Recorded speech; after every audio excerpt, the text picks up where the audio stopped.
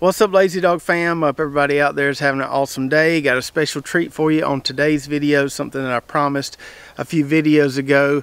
So about a week, week and a half ago, I did a pretty lengthy interview with Jim Gerritsen of Wood Prairie Farms. They grow organic seed potatoes that folks like myself and you can grow in your backyard garden.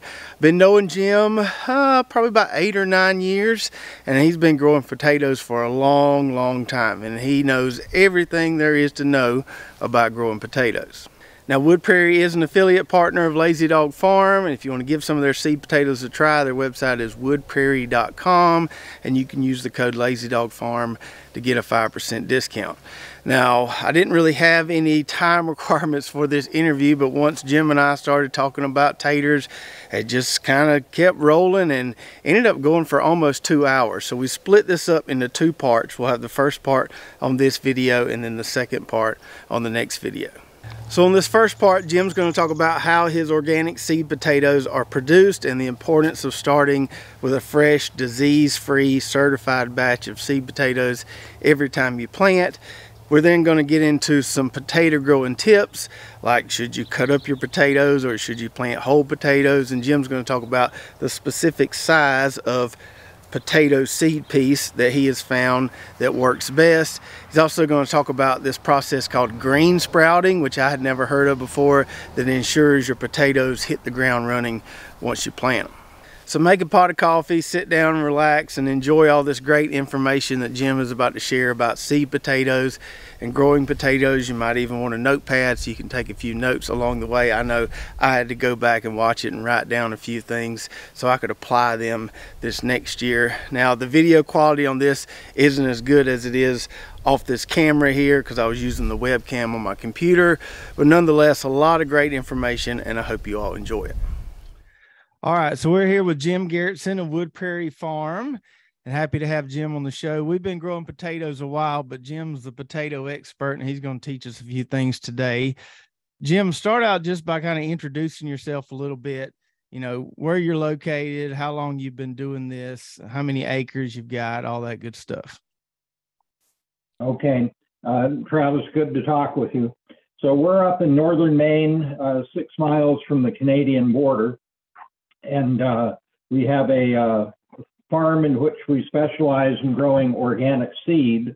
And the main crop that we grow is uh, early generation Maine certified seed potatoes. And uh, our farm is about 120 acres and pretty common in Maine. Uh, about half the acreage is in fields and half is in woodlot.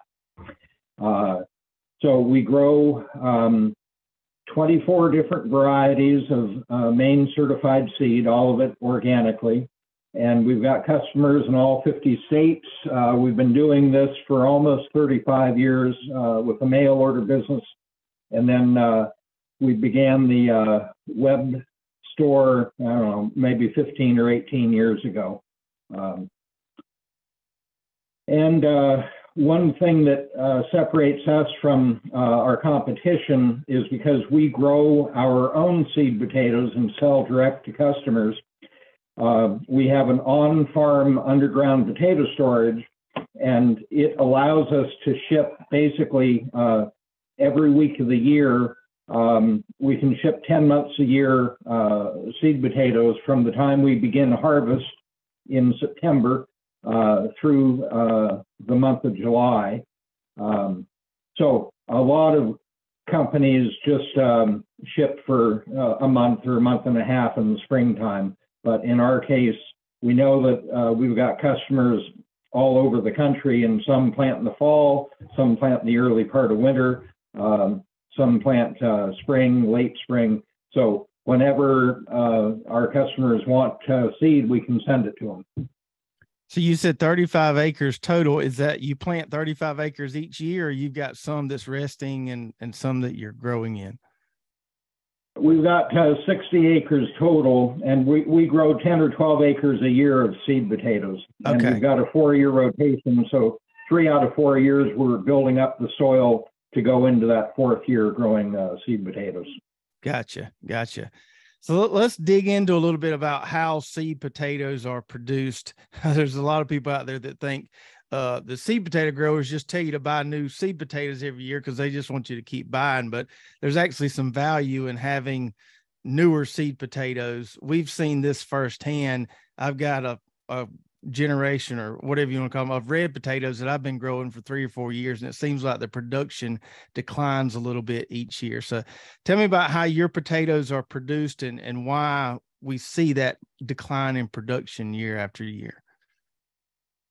Well, uh, every variety that we grow, we've got uh, three or four different generations. So uh, we start uh, with uh, disease-free tissue culture, and uh, we bring in potato plantlets that kind of look like alfalfa sprouts, and we um, we grow them in organic compost in a special screen house where rather than it's like a greenhouse, but rather than be covered by plastic, it's covered by aphid excluding netting. So we grow that out one year, and the production from potato plantlets is called mini tubers. And the next year, uh, we have a 600 foot long uh, tunnel, uh, portable tunnel that we plant in the soil, the mini tubers, and then what we harvest from that is called FY1 field year one. So that 600 foot long uh, screen house also has aphid excluding netting. And this is kind of hinting at what the problem is. Um, when you're growing potatoes outside, uh, aphids are the primary vector of potato virus.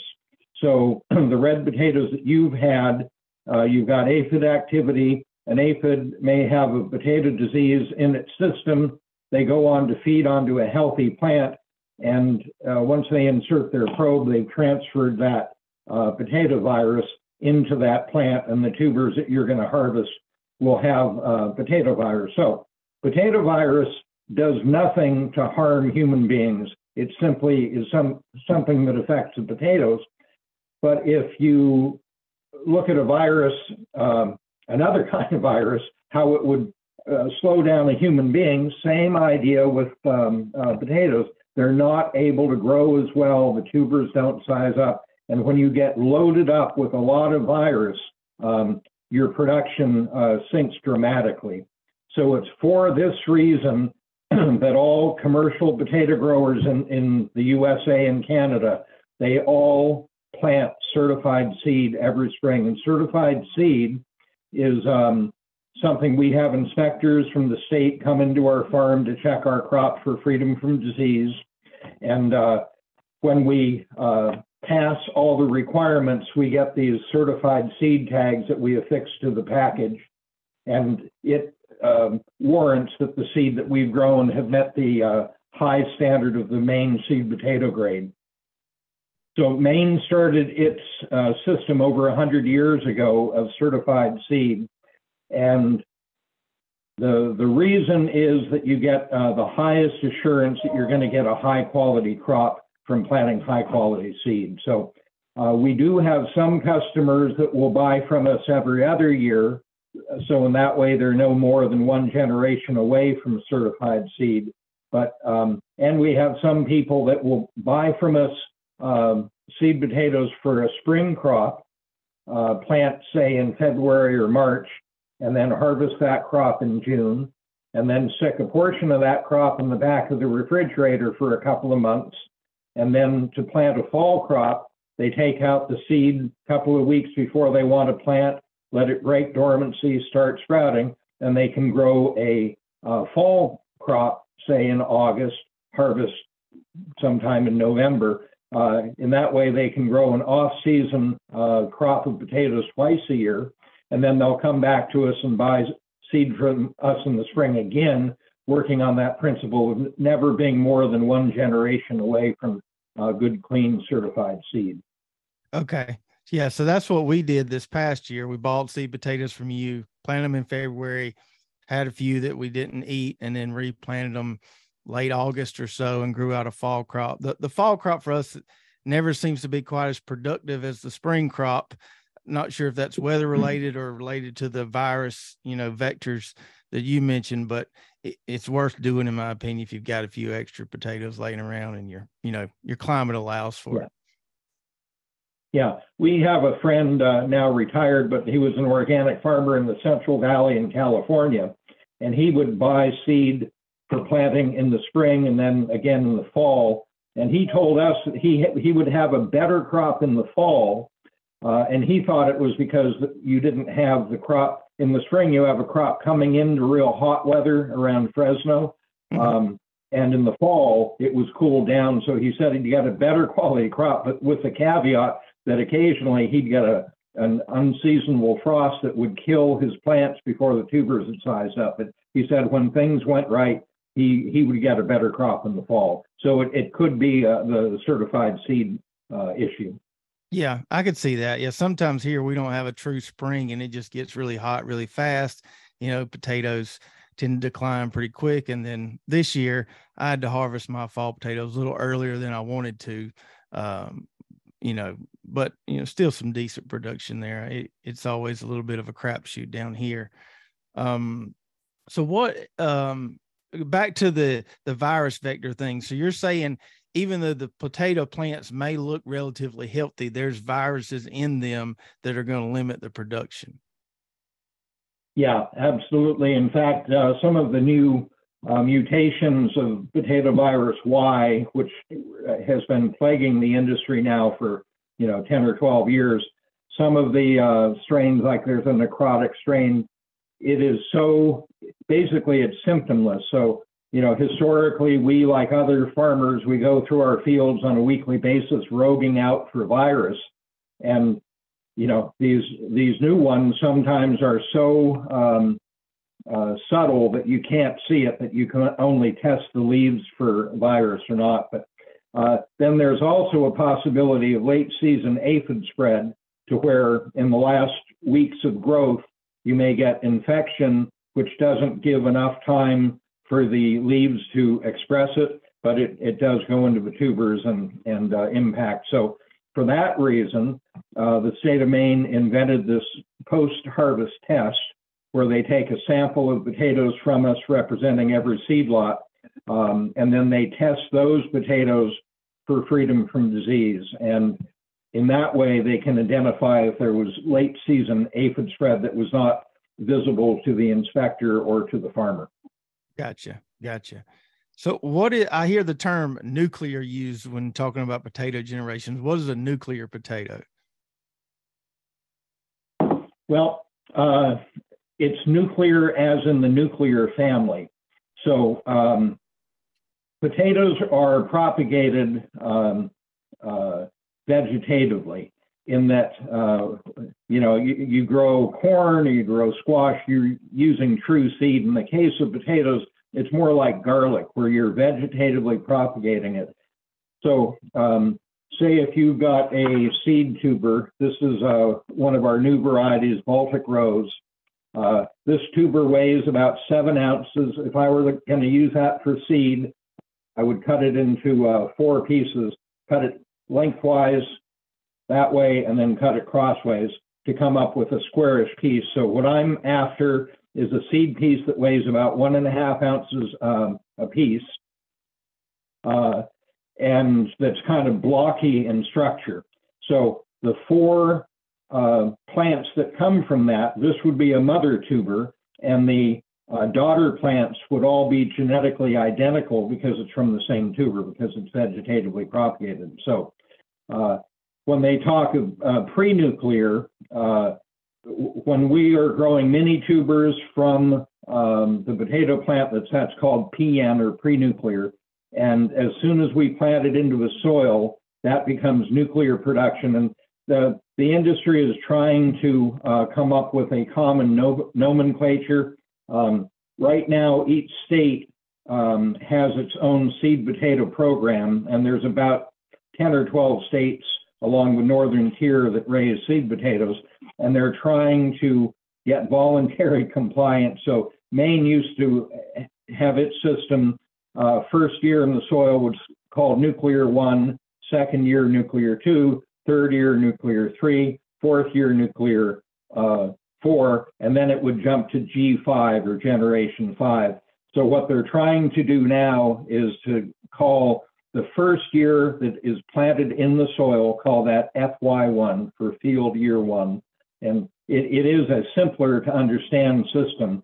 So the the concept of nuclear is a little bit going uh, in, in, terms of terminology in the industry. It's a little bit going by the wayside, but the reference for nuclear is like the nuclear family, where it all comes from the same uh, parents. I got you. I got you. So you talked about cutting up the potatoes. Let's dig into a little bit of what I like to call potato growing myth busting, because in in today's age where you've got all this content out there. Mm. like we produce you read all kind of different things about the best way to do things. So um, we'll kind of go through some of these. First off chitting potatoes. Do you recommend put, planting potatoes with a little bit of a sprout on them or you just want to be able to see the eyes? Well uh, at the very least you want to see the eyes. Uh, that's what we recommend to our customers the, the problem is, uh, first off, potatoes do need to go through a dormancy period before they'll sprout. And the dormancy period will vary depending on the variety. It'll depend on what type of a growing year it was where those seed tubers grew. In a hot year, uh, they will sprout easier because they will be physiologically older. And that's something we can get into if you'd like. But um, uh, the, the bottom line is that um, you're better off to uh, allow at least the hint of a sprout coming out of the eye. That guarantees you that the tuber has broken dormancy. And what you don't want to do is plant a dormant tuber in cold soil, and then it could be a, a day or two after you plant it, you get a lot of rain. And if that tuber is in cold soil, you may get invasive fungi that, that basically want to colonize that seed piece um, take the nutrition from it, and we call we human call call that rotting the seed down. But you're much better off if you don't plant until you see that sprout coming out of the eye. And we're big believers in chitting. In this country, uh, chitting is a European term. In this country, we call it green sprouting. Um, but every year we green sprout uh, the seed that we use. It's 25 or 30,000 pounds of seed that we do. And uh, there's you know, maybe your listeners know about green sprouting, but if not, there are two important steps.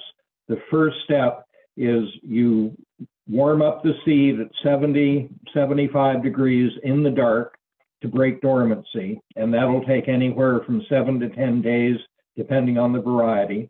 Then once you see sprouts starting to emerge from the eyes, you want to turn the lights on and you want to drop the temperature back to 50 to 55 degrees.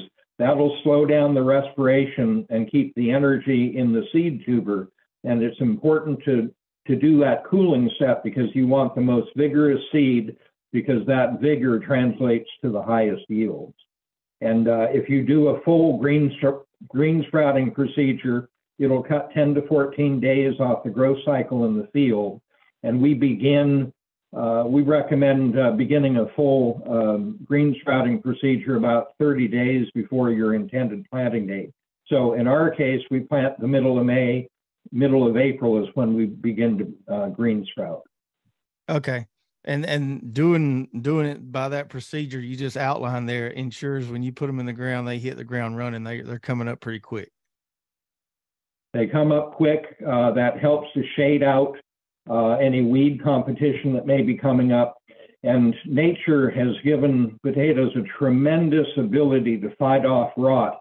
As soon as that first leaf comes through the ground and the sunlight is hitting it, it, it empowers that uh, plant with a tremendous ability to fight off uh, fungal invasion.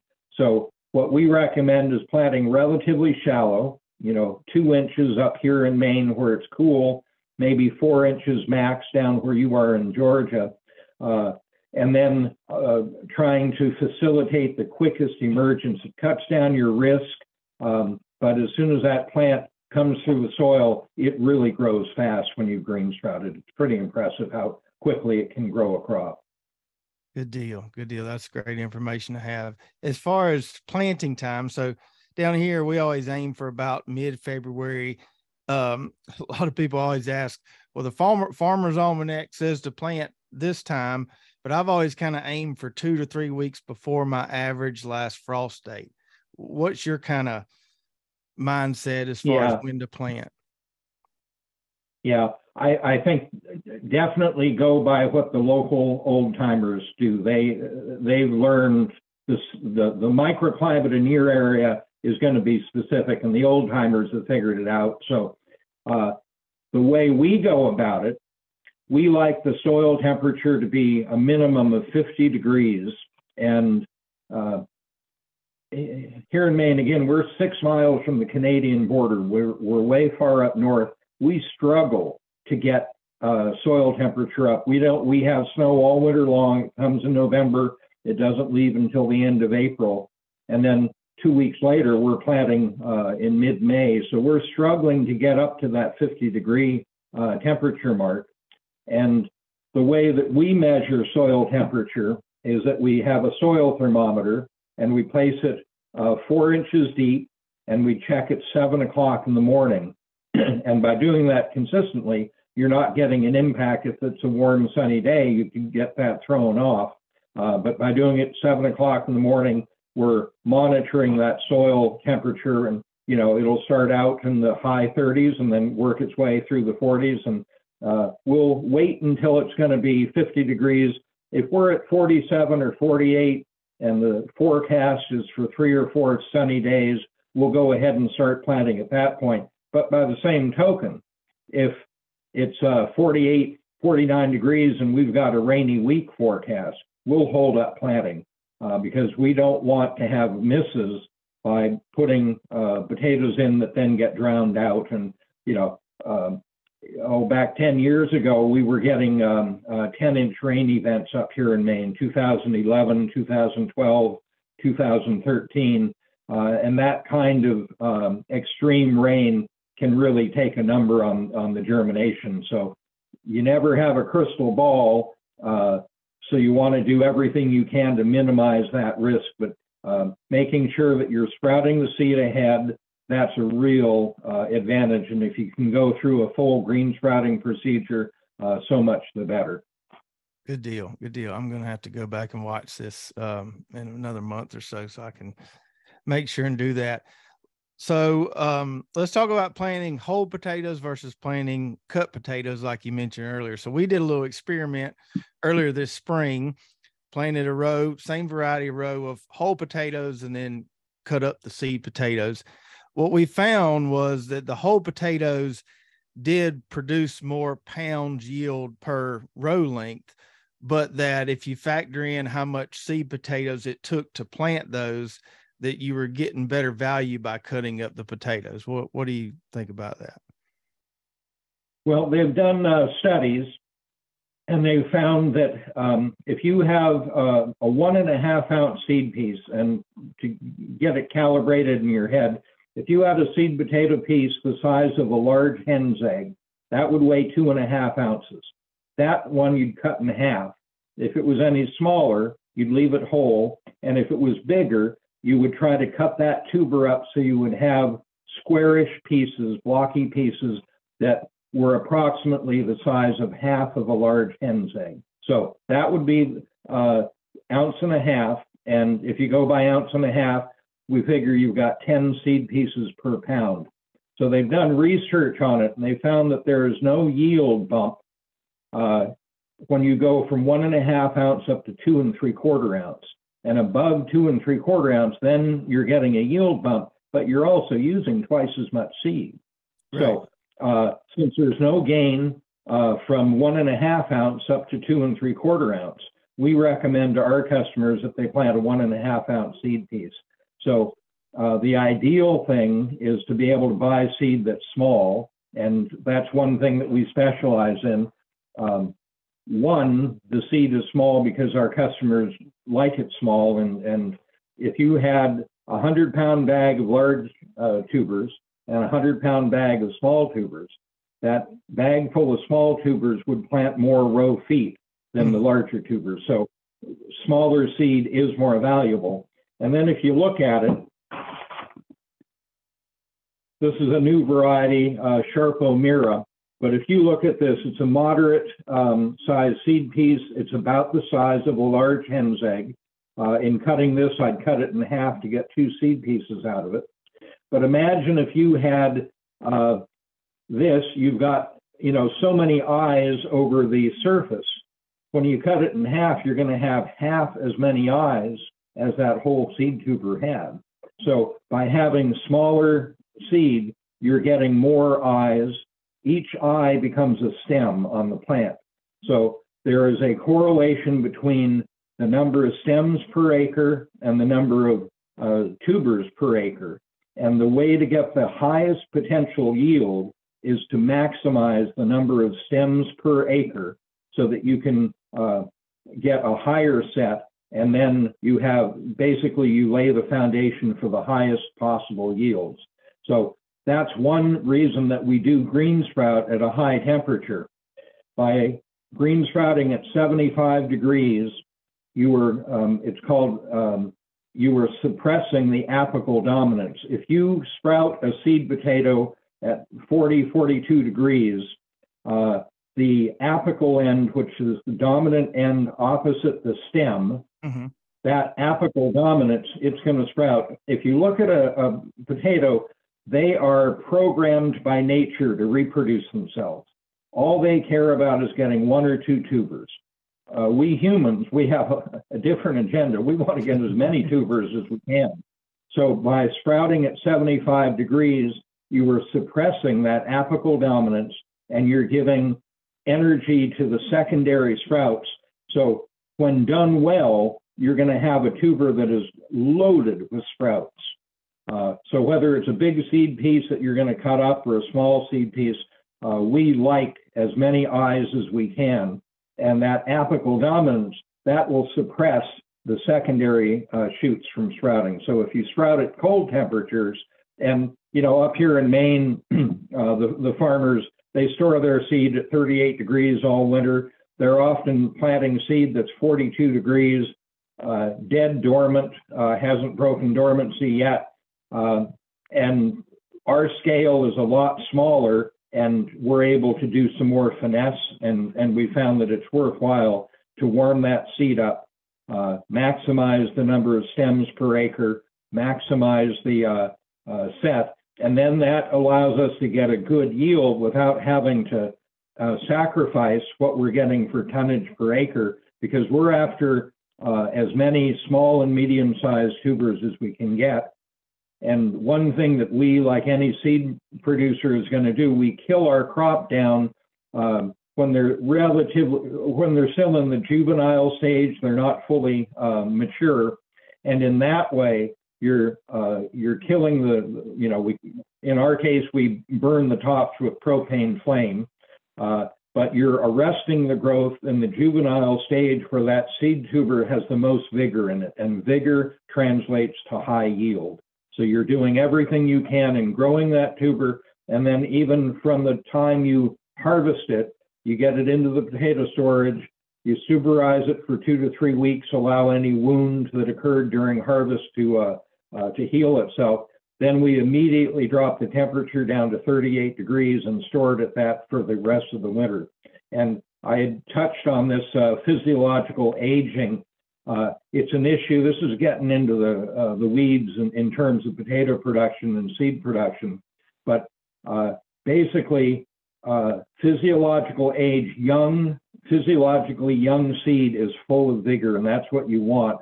And um, if we have a hot summer, this year, say we had a hot summer, and then last year it was a cooler summer, the tubers that we harvest in the fall of that cooler summer will be physiologically younger. Basically, physiological aging is a um, uh, measuring of stress that is uh, that a tuber has gone through. So in a hot year, the tuber is undergoing stress. So you know, the potatoes that you harvest, they're all going to be a little bit physiologically aged, um, um, aged um, later. So if you can arrest that and cool them down quick in the fall, store them at 38 degrees, you can arrest that physiological aging and preserve the uh, the vigor that is going to result in a higher quality, higher yield crop the next generation. That makes sense. That makes sense. That makes sense. It, it gets into into the weeds. Yeah, I, that makes and, sense. when when we're sprouting green sprouting at 75 degrees, we're speeding up that um, physiological aging because we want those secondary sprouts to sprout. And then when those sprouts sprout, then we cut the temperature back because we've achieved what we wanted. We want those secondary sprouts to sprout. Then we knock the temperature back to 50 to 55 degrees, slow the respiration down to keep the uh, um, uh, vigor in that seed. But you know, uh, potato planting is relatively simple. It doesn't sound that way from our conversation. yeah, but we're this is this is what we do. Um, our county is uh, uh, was the number one potato producer in the United States as recently as the early 19 early to mid 1950s. Even before Idaho ever got its start, Maine was number one. Maine has been producing seed potatoes certified seed potatoes for 100 years. They've been growing potatoes for 200 years. And we have, we're gifted with one of the best um, opportunities in the world. Our soil is perfect, well drained, sandy loam soil, perfect for growing potatoes. Uh, we never get that hot in the summer. We have minimal insect activity because it never gets that hot. We have very cold winters, which takes a high mortality on in insects. So we just have less insects than say down New York, Pennsylvania, anywhere south of us. So we just have between the soil and the climate, we have a perfect uh, ability to raise the highest quality seed in North America. Awesome, awesome. Now, as far as planting the pieces of seed potato in the soil, you know, the old timers always tell us put the put the eyes pointing up, you know, towards the sun. But I see videos of these commercial farmers, people riding on the back of a tractor, and they're just chunking them in the furrow. Do you do you care about orientation of the seed piece when you're planting? We, we, don't. Uh, we're we're putting in, you know, uh, 14 oh, probably 25 to 30,000 seed pieces per acre, and we put 10 or 12 acres in. So we're talking hundreds of thousands of seed pieces in our case, you know, it it it adds two, two to three days to get that sprout to come up. That's a benefit if you're a backyard gardener and you can place it with the seed with the eye pointing up. You're going to do a better job than we can do. But on a big scale, it just it's one of the trade-offs. You just can't turn it around. I yeah. see. I see. But so in the garden, so, if you're on a small scale, if you've got that ability to cut them up, place them with that eye pointing up, and you'll get emergence uh, two days earlier. Okay, awesome. Now let's shift into growing potatoes a little bit. This is another experiment we did this past year. We hear a lot of our viewers, a lot of people online talking about growing potatoes in straw or healing them with straw as opposed to healing them with soil. Now, we may have not done this experiment perfectly, but we had pretty drastically different results as far as potatoes grown with straw around them as opposed to healing the plants traditionally with soil. What's your thoughts on the straw versus the soil? My thoughts are, you know, they can get more nutrients from the soil than they can the straw. Well, um, the method that I know um, was um, advanced in organic gardening. They wrote it up in Organic Gardening magazine probably 50 years ago and there was a, a um, little bit of a independent, some might call her an eccentric gardener by the name of Ruth Stout, and this was called the Ruth Stout no dig uh, potato method. And she would take the seed piece and plant it, uh, lay it right on top of the soil, and then add a foot of straw on top of that. So the roots would actually go into the soil, and potatoes are a fairly deep rooted plant. Uh, so I think in doing that, I think you're going to get all the um, uh, nutrition out of the soil that need the nutrition and moisture. Um, and then the beauty of that uh, straw is that it smothers out any weeds. They have no chance of growing.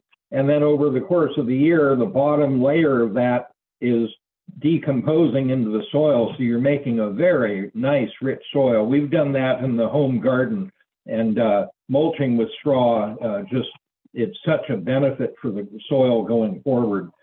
The one caveat is that if you've got uh, field mice, uh, you have created heaven for them They've got cover under that straw. They've got a food supply. So if you don't have mice and can pull it off, I think it's a great, uh, uh, great method. But really, you're planting it on top of the soil, and then the roots are going down. So the beauty of this system, um, in the fall, you just peel back that straw, and your potatoes are laying um, on the soil. So it's the Ruth Stout, no dig method. You don't need to dig because the tubers are laying on the soil under the straw. So it's a brilliant um, technique, and I would definitely try it. But do be careful that if you've got the mice, they could uh, beat you to the harvest. Gotcha, gotcha. Yeah, I don't think I, I gave that um, that method um, much service with my experiment. I'll probably need to revisit that. Um, one other thing we get asked about a lot potato blooms. Uh, I read a study earlier this year. I think it was done somewhere in Africa where they it wasn't super significant, but they did find that they got a little better yields by picking off the blooms. Why do potatoes sometimes bloom and they sometimes don't bloom? And is there any benefit to removing the blooms on a small scale?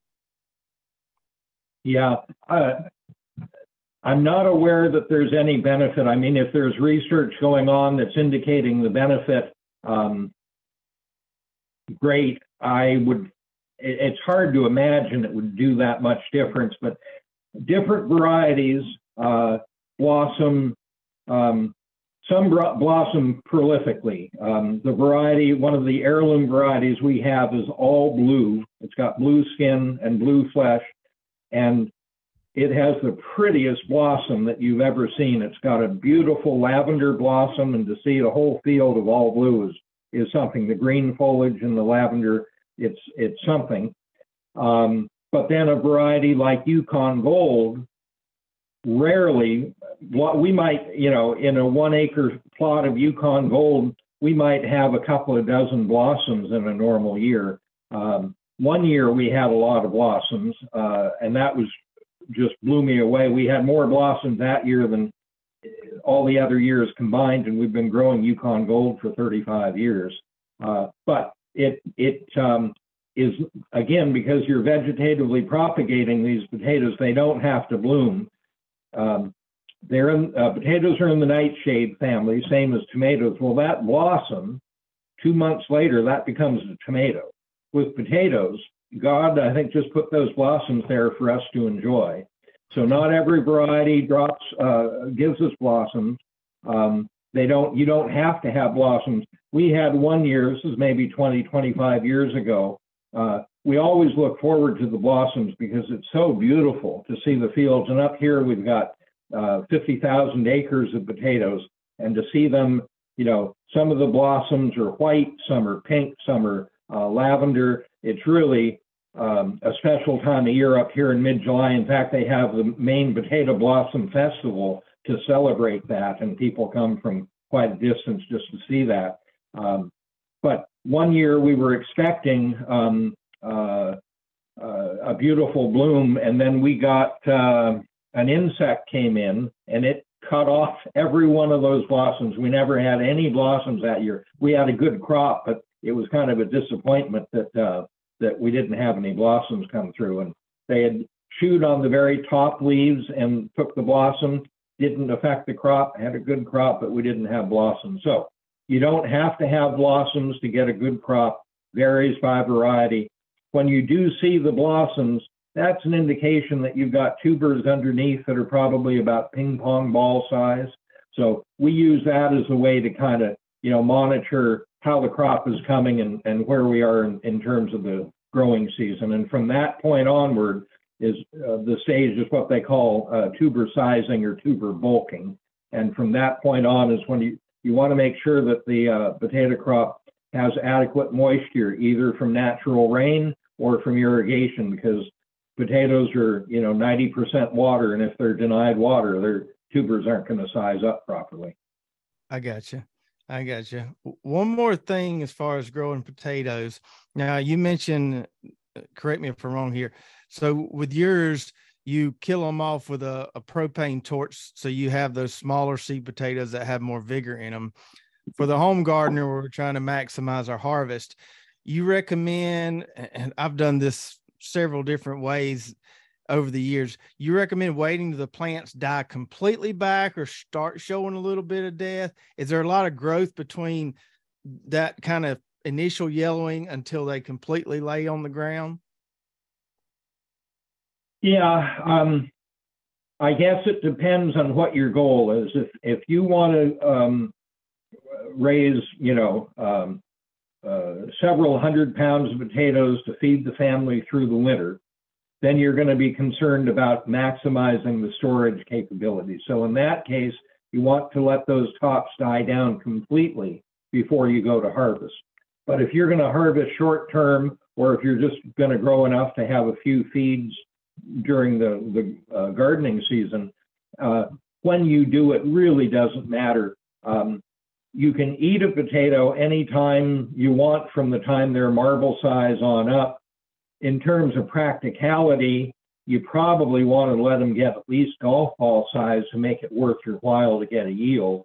But um, you can let those tubers grow up. And, and one benefit from gardening uh, that a gardener can do that we can't do is once the potatoes are sizing up, you can kind of paw into that hill and you can feel around and you can pluck out tubers that have grown large and leave the rest of the tubers to continue to grow and size up. We can't do that. We've got to, you know, treat everything, um, uh, you know, kill them all at once and, and take what we get. But um, if you're going to store for any length of time, you're best off to let that top completely die. And while the top is green, even when it's yellowed, it is sizing up. If you've got moisture, if you've got adequate fertility, you were still getting sizing.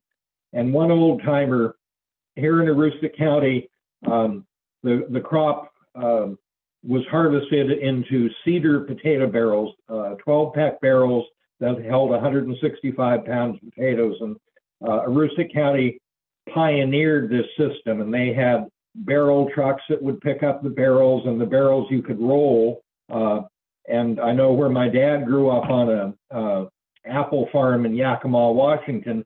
They grew a couple of acres of potatoes and they'd do everything in burlap bags, meaning that you'd have to lug that bag, you'd have to lift it onto the truck, you'd have to lift it off the truck. So the barrel system really uh, was uh, a great advance, and um, the farmers up here would measure everything in terms of barrels.